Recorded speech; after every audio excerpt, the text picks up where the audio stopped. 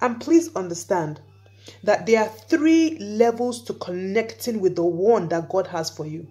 And if you don't connect to the one that God has for you in this exact same manner, which I'm going to explain to you now, if you don't connect with that person in these steps, in these levels accordingly, you will miss it and you will miss the one that God has sent to you.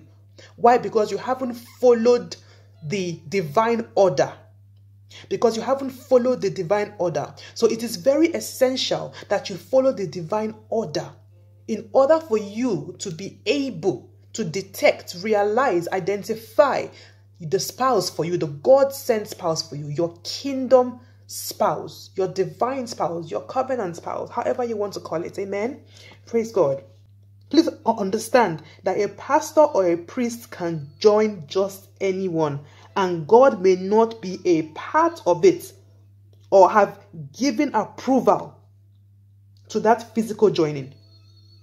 Please understand this because this is very, very essential and this is very, very key for you to note that a pastor or a priest can join just anyone. Anyone can go can just go to the pastor or the priest and tell them, you know, we plan to get married in so and so time, you know, and they're not in Christ and they and and they have, you know, no um no um no uh, union with um, Christ or the Holy Spirit, no relationship with God, right? And the pastor can still join them, and God will not be a part of that union.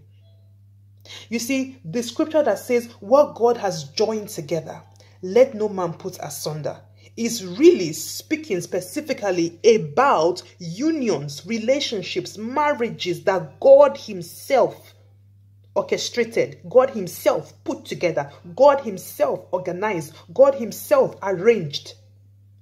So a pastor can join just anyone, anyone, and God will not be a part of it. God will not be a part of it.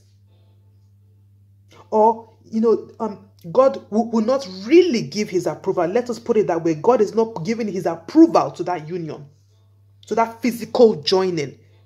Why? Because there is a pattern, there is an order, a divine order that needs to be followed first. And we're getting there now. Praise God.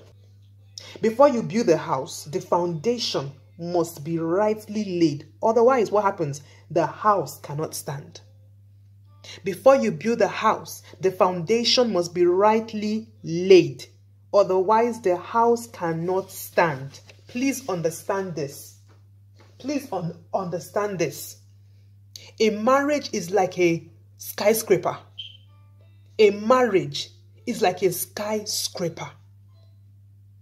For any skyscraper that has to be built, constructed, it takes a long time. Amen.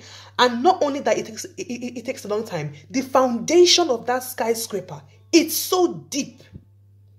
It's deeply embedded in the roots of the earth. The same way God wants you to be deeply embedded in the roots of the spirit, in the deep of the spirit, in the truth of the spirit.